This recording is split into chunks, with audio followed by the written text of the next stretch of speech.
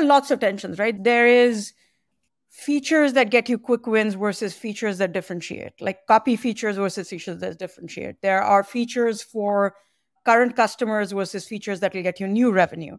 There is how much should you launch versus how much should you spend on making sure your platform is stable. There's how much should you spend on making sure your platform is stable versus how much should you spend on making sure your platform has the latest tech. Because while you may not see the benefits today, there'll be benefits tomorrow. There is should you build for to close that next deal, but it's only for this one customer versus should you build for the masses? When have you done enough? When do you switch? You start with an MVP, you develop it, but when do you go, okay, I'm now going to thin out this team and move people over to this other team because this product is reaching more maturity, whether it's from any of the angles I mentioned, whether it's infra, whether it's newness of tech, whether it's customer facing features, right?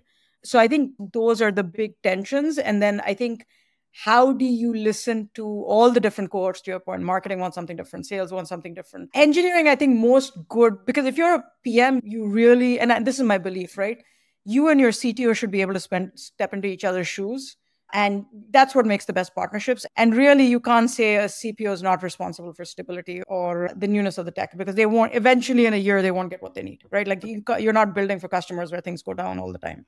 So I think that's less of an issue. And then, so I think, yeah, I think there are a number of different tensions you have to balance in a number of constituents.